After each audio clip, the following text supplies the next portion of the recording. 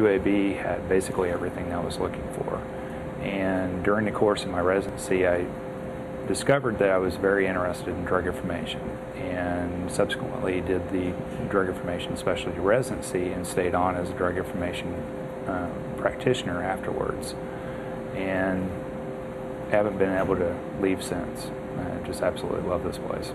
We've done a lot of work with our pharmacists over the years to increase their awareness of the different resources that they have. So usually by the time they give a question to us, we're going to have to exhaust additional resources in order to get that question answered. Um, or it may just be a simple educational um, component to let them look in that resource more efficiently to find that answer. We work as a healthcare team and we have the resources that we need and patient care is our utmost concern um, within this hospital. And I, I believe that all those components together really does separate UAB from other institutions. And that is one of the reasons why I continue to work here. I couldn't say enough about this place. My name is Aaron Jones from the Drug Information Service. UAB is not just another hospital, and I'm not just another pharmacist.